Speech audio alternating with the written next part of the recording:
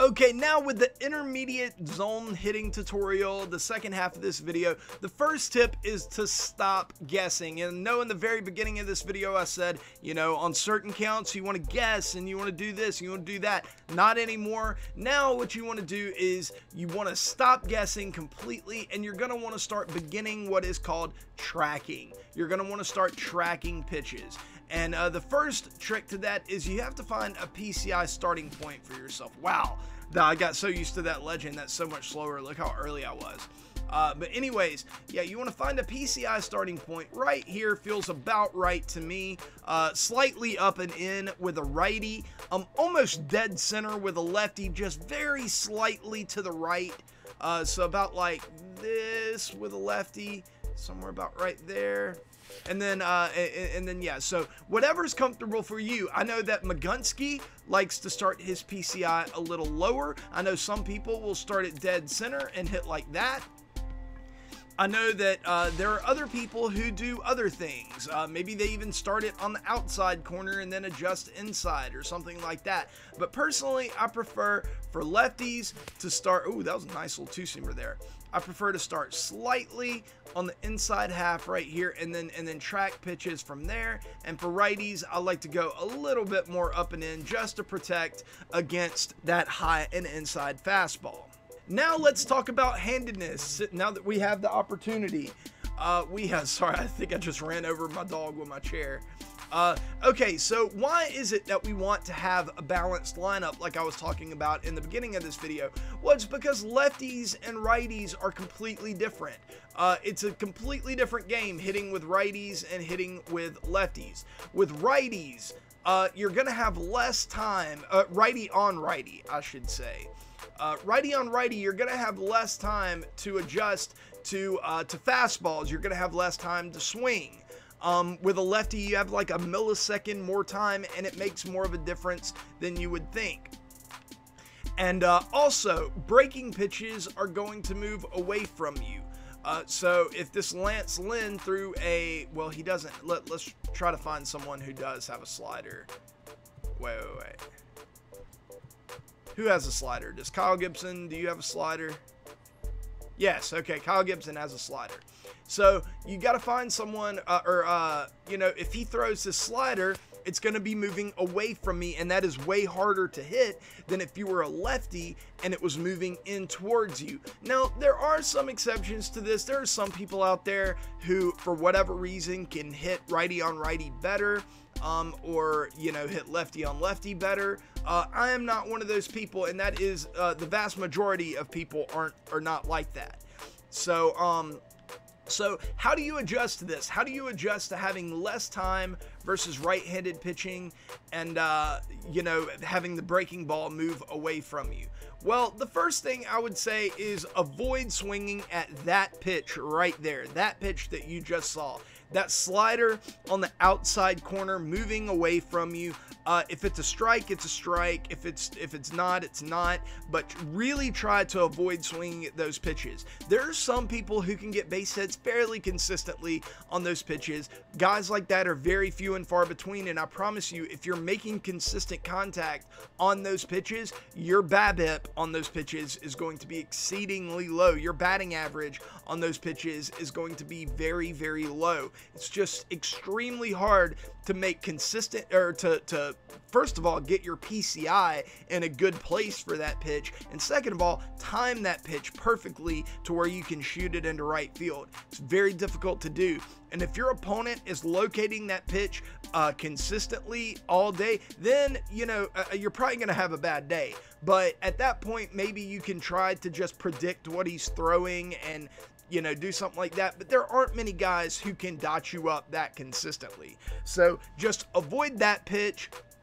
But I also want to say, don't. That doesn't mean don't swing at sliders at all. Just don't swing at well located sliders on the outside corner. If a guy hangs a slider uh, over the middle, crush it. That's one of. The, I, I hit more home runs on righty righty sliders that get hung all the time. I hit it all the time or if they try to backdoor it on you on the inside corner, crush it. If you can time that up, crush it. You'll hit a bunch of home runs that way. But just on that outside corner, you really want to avoid that. Another thing, righty on righty and lefty on lefty, is that you really want to focus on taking away the fastball. And that is because you have less time to react to the fastball. So obviously, you're going to want to focus on it a little bit more because your opponent knows that you know that you have less time to react to it. So they're they're going to kind of pound you with it, you know, occasionally. Uh, they're going to throw you a lot of them. They're going to make you uh, pull that fastball, and if you can't pull it, then uh, then they're they're just going to win. They're just going to keep pounding you with it. You're going to keep popping up. You're going to keep striking out, and uh, it's going to be no good for you. Okay, now let's talk about opposite-handed uh, hitters. So a righty on lefty or lefty on righty.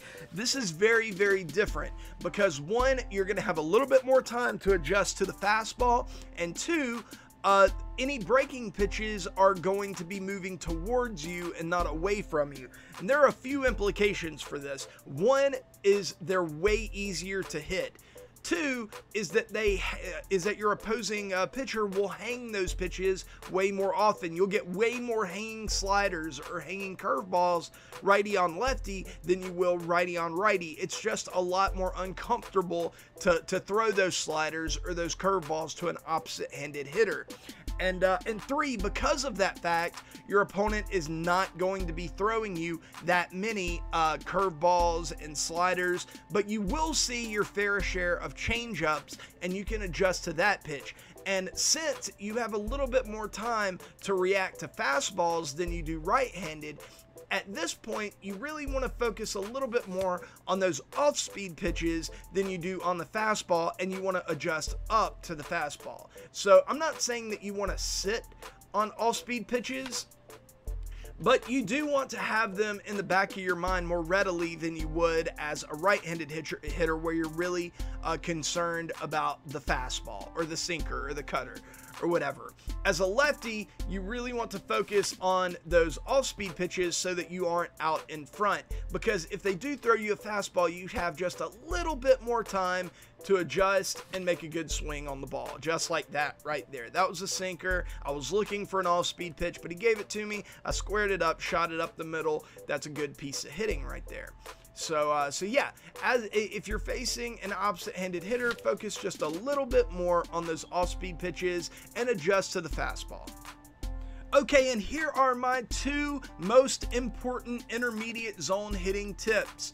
First, take away the fastball at the higher difficulties especially make sure that your opponent knows that if he throws you a fastball, there is a chance that it's going to get punished. This is going to force your opponent into the uncomfortable position of having to throw you more sliders, more changeups. He's going to have to mix up his pitches more. He's going to have to do all that jazz because you're not a scrub. He can't just throw you fastball after fastball and have you uh, and have you strike out on it, you know, because you have a very slow bat. So prove to your opponent that you have a quick bat that you can uh, that you can really take that fastball away even if you really don't just kind of swing as fast even even if it makes you look silly uh, because sometimes trying to take the fastball away intentionally, uh, you can get fooled very badly on all speed pitches. Don't worry about that. Take away the fastball and then worry about that in the later innings, but force your opponent into the uncomfortable position of having to mix his pitches more effectively and having to be more precise with, uh, with where he locates them. And then the second thing is the most important factor in anything in MLB The Show. Anything at all, zone hitting anything. Be patient. Be patient. Don't chase the game. Let the game come to you. Don't try, don't try to go out there and chase runs. Don't try to be like, oh, I got to score right now because I'm down by two runs in the third inning. You know, it doesn't matter. Let the game come to you. Let your opponent make mistakes. Um, don't be afraid to uh, don't be afraid to watch bad strikes or to or to not swing at bad strikes. Like that right there. Like that's a pretty tough pitch for me to hit let's say. Let's say that i have trouble getting my pci right there to uh, to hit the ball. I, i'm not afraid to let that pitch go you know because i know that if i swing at that it's more than likely just going to be an out because I, I struggle with that pitch. But then, uh, and, and then if I if I let that pitch go, maybe the next pitch he gives me one, but it, it, he misses and it goes low and away. And I really I hit that pitch really well, just like I did there, and I get a double out of it. So don't be afraid to, to not swing at pitches that you don't like, even if they are a strike. And don't be afraid to strike out looking. There are so many players in this game who seem to have this phobia of striking out looking. It, it's like it makes you less of a man or something if you strike out without swinging. It doesn't. If you're willing to take those strikeouts looking, that means that you're a very patient hitter and that you can. Uh, and what and, and, what you'll be getting a lot of that other players want that other players won't be getting is a lot of base runners and that is the main goal of MLB The Show is to get a lot of base runners. That is the name of the game. So that when you hit those big home runs, whenever your opponent makes those mistakes that you take advantage of, instead of hitting solo home runs, you're hitting two run, three run home runs, grand slams. You know, you're you're making a big impact because the guys before before your opponent made that mistake, he walked them because you were very patient at the plate. It's extremely important. And sorry about that. I, I, I, lost my train of thought there for a second, but one method that uh, I have to give credit to Cardinal Bird and to Movie Gaming about two or three years ago, they came up with this method for players who were struggling to uh, to be patient at the plate, and I used it for a while, and it really worked for me. The one caveat to this is you do have to be a, a pretty good two-strike hitter in order for this method to help you. But if you are, eh, or you want to learn to be a good uh, two-strike hitter, employ this method, and it'll really help you. It's called the two strike method. Uh, for the first three, maybe four innings of the game, don't do not swing the bat until you have two strikes. Force your opponent to, to run up his pitch count. Uh, force your opponent to throw strikes. Make your opponent believe that you are the most patient player in the history of MLB The Show, and uh, and all of a sudden you're uh, you're you're gonna be more patient you, you know, it's going to teach you to be more patient as you sit there and you watch all those pitches and everything. But it's also going to tell your opponent, man, I've got to throw strikes because I can't run my pitch count up. I can't burn through this pitcher's energy. I can't. Uh, it, this guy is going to take a walk if if I end up, uh, you know, throwing too many balls or whatever. So uh, so yeah, I've got to throw strikes. And uh, and this year, that's even more important since you have pitcher energy. He's really not going to want to burn through that energy. So by the fourth or fifth inning, you're going to be getting a ton of strikes to play with. And at that point, you can unleash, take advantage, and uh, really start to go to town on him and uh, it, it's just a great method for teaching you how to be patient. And also, as a as a little bonus, what you can do and I'll kind of demonstrate it here. While you're using the two strike method, you can just take your finger off the X button, but you can still track pitches with the PCI like that right there. Like I'm not swinging at that pitch because I'm using the two strike method. And, uh, but I'm still going to use my PCI because it will help me with my PCI control. It helps me with tracking pitches. This is a great way to practice tracking pitches right here. Just, you know, do what you would always do and uh, but but instead of swinging, you don't until you have two strikes, and then once you have two strikes, you can uh, you can just go back to swinging normally. And uh, yeah, really helped me become a more patient hitter. Uh, for those of you who doubt my credentials or whatever on this, I am a very good player, probably a top 50 player, maybe a top 100 player. Uh, all three of the MLB The Show esport events, I have made the top 32. Unfortunately, I got knocked out in all three tournaments in the top 32, but they were very good games. I got knocked out by Kyle, Kyle next door, your friend Kyle, that guy.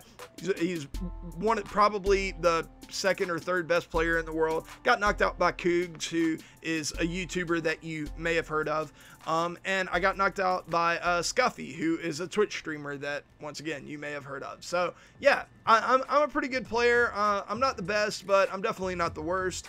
Um, hopefully, these tips help you. Tomorrow, Actually, I don't know if my Master Zone hitting tutorial is going to be coming out tomorrow. It might be coming out the day after that, but uh, either tomorrow or the day after that will be my Master Zone hitting tutorial. Um, it will be the, the super advanced version for people who have gotten to the championship series or the upper DS and they're looking to take that next step and make it to the World Series. That next zone hitting tutorial is going to be for you, so be on the lookout for that. I love you guys. I will see you guys later. Uh, check out my Twitch channel at TTV Beanie Antics. Check out my Twitter at Beanie Antics, and uh, I will see you guys later. But until oh, leave a like on the video. But until then, peace.